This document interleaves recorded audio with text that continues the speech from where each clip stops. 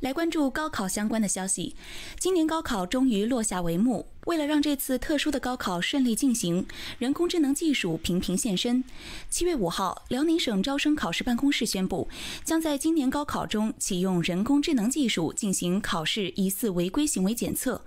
据介绍，该人工智能系统能够在短时间内分析判断所有考场的视频文件，并检测出考生的疑似违规行为。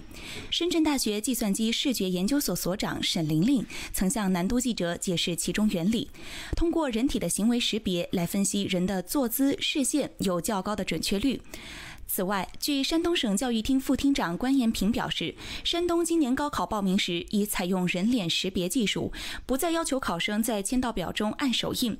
江西省教育考试院发布的高考期间考生应注意事项中也提到，将在全省各地各考点中使用指纹或人脸生物识别技术验证考生身份，严防替考。值得留意的是，广州除了往年已经使用的人脸识别技术，今年考场还有大眼机器人巡逻。能通过车牌识别、口罩识别、大数据分析等技术来为高考护航。